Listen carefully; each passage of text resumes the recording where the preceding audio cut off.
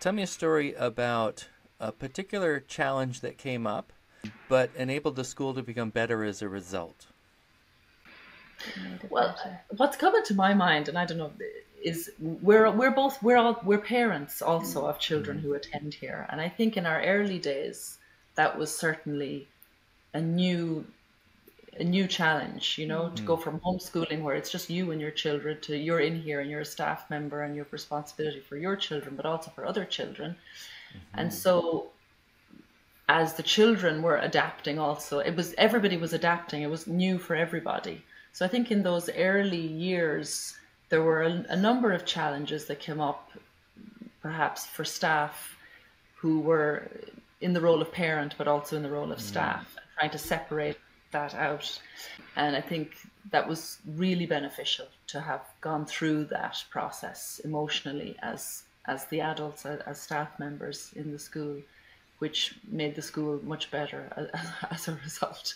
Just the ability to to be objective and to really, yeah, I suppose, sharpen those skills of of remaining emotionally um, neutral or you know sort of uh, objective in any in any given situation. And then of course learning as parents just you know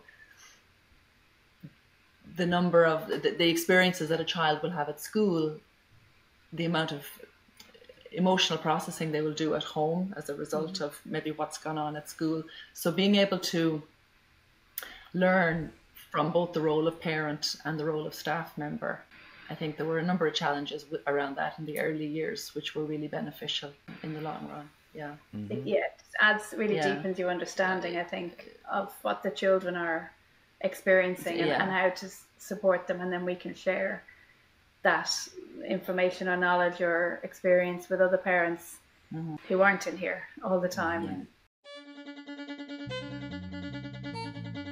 This is the Agentic Schools podcast, where you will learn about schools from around the world where children's agency to make decisions about their learning and living is more important than their academic skills.